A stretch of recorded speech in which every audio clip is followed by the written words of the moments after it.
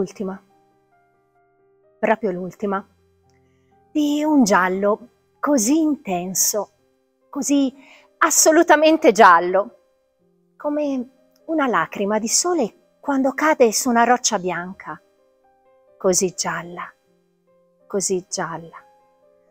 L'ultima volava in alto leggera, aleggiava sicura per baciare il suo ultimo mondo.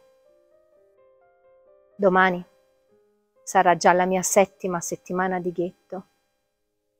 I miei mi hanno ritrovato qui. E qui mi chiamano i fiori di ruta e il bianco candeliere di castagno nel cortile. Ma qui non ho rivisto nessuna farfalla.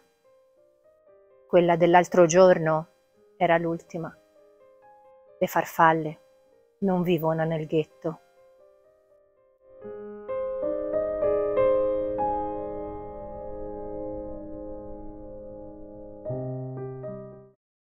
Storicamente, lo sappiamo tutti, gli ebrei sono stati per secoli perseguitati, basta pensare ai ghetti, il ghetto di Venezia è uno dei più antichi, se non il più antico d'Europa, oppure anche ai pogrom, alle spedizioni punitive che sono state fatte nell'Europa centrale, in Russia, contro questi popoli, i lituani, i polacchi.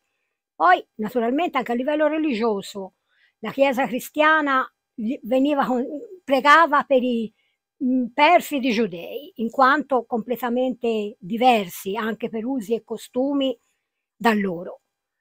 I, anche a livello economico, eh, i, gli ebrei, siccome i cristiani per, loro, per la religione non potevano mh, prestare il denaro o fare usura, allora è, stato, è diventata diciamo, una pratica che, loro, che gli ebrei potevano regolarmente ehm, usare, insomma, e quindi anche da questo viene l'idea dell'usuraio ebreo. Naturalmente poi avevano anche potere economico, erano industriali, banchieri e quindi anche, avevano anche il potere della stampa, giornalisti, commercianti, tutto questo, specialmente in Germania, Hitler ehm, lo combatteva perché lui aveva paura anche proprio del potere finanziario e della stampa eh, e dei loro contatti internazionali, per cui ha fatto in modo di poter distruggere sistematicamente il più possibile questo popolo. Penso che siano tutte le donne che subiscono violenza, tutte le donne private del loro diritto. Anna Frank è stata negata la libertà, è stato negato il diritto di crescere, di studiare, di scegliere si è dovuta nascondere e ha lasciato il diario come testimonianza.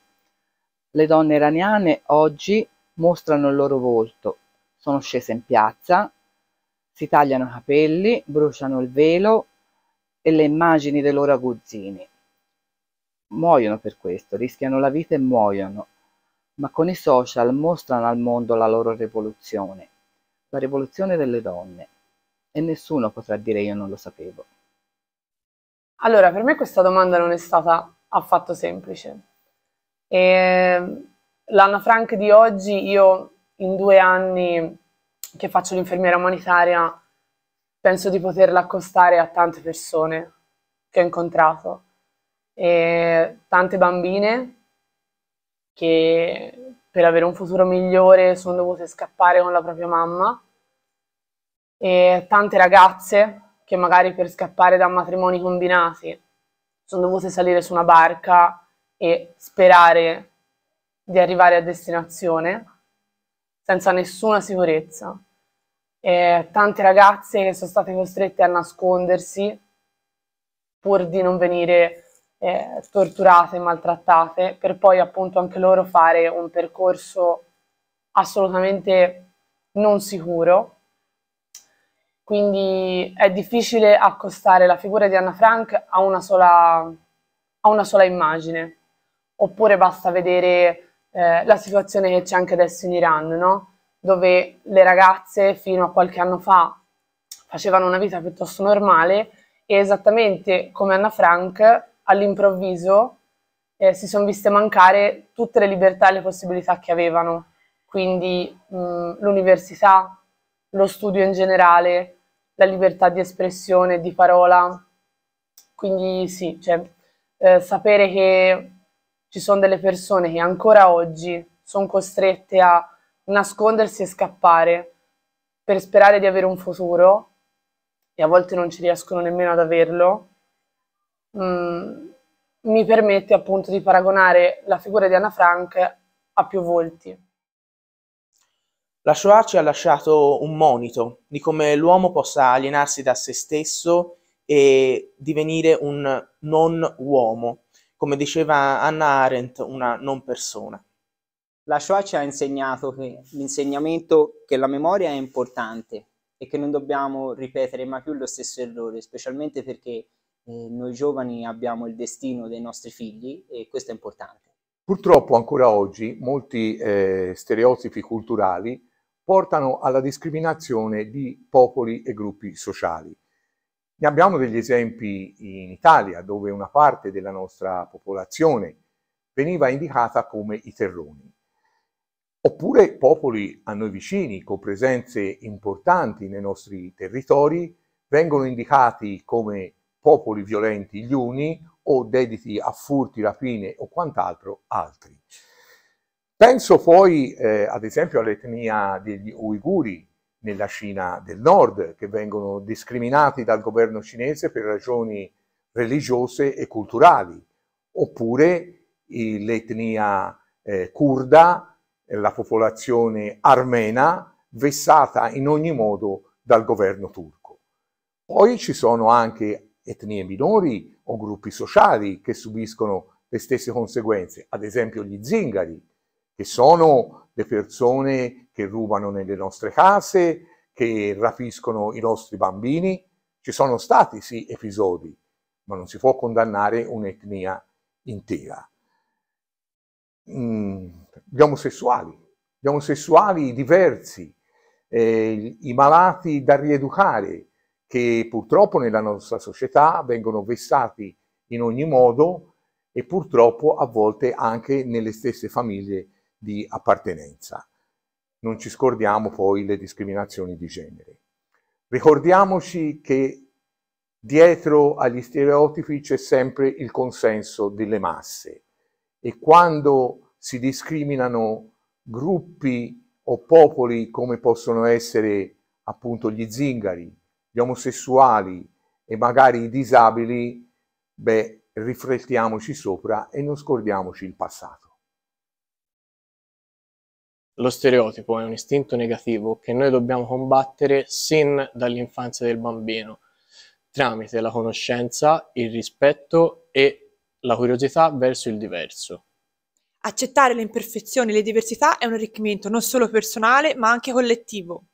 Allora, penso che le, le imperfezioni e le diversità possono aiutare a crescere molto eh, la democrazia e, e, facendo comunque un parallelo con un'associazione sportiva penso che, che, possa andare molto ricchezza, molta ricchezza. Eh, c'è tanto anche di, di, essere curiosi e quindi di andare a, eh, a capire quello che magari non è il solito, il comune che vediamo e lo vediamo anche qua con, eh, con tutto quello che, che c'è successo negli anni, quindi tutti i bambini che hanno partecipato alla nostra attività, abbiamo visto con eh, situazioni e, e ragazzi, ragazze, bambine che, che frequentano l'ambiente, magari anche di paesi diversi, che sono riusciti a, ad integrarsi, a venire qua e a far crescere l'ambiente e sicuramente a far crescere anche un vissuto, un'esperienza dei bambini che fanno parte della nostra comunità da sempre. Quindi penso sicuramente che sia un valore aggiunto e che eh, su tutti i fronti, tutti i rami, le, le diversità possono sicuramente aiutare. Insieme alla memoria c'è il dolore, presente nel tempo, a consolidare lo stupore di quel fumo nel cielo. Ciottoli, polvere, baracche, altre baracche, filo spinato, corrente, passi, grida, marce ritmate come tamburi, cani, urla, latrati, cani, tutti in fila, a testa bassa. L'appello divide padri, figli, madri. Subito falcia ai vecchi. Freddo, fango, urla, bastoni, colpi, punizioni, fosse, fame, buio, sporcizia, tanfo. L'acqua è inganno. Non più uomini, non più donne, non più bambini. Vestiti, occhiali, berretti, scarpe, valigie, capelli, capelli e fumo, ogni notte, altro fumo. Nessuno parla, nessuno sa. Decine, centinaia, migliaia.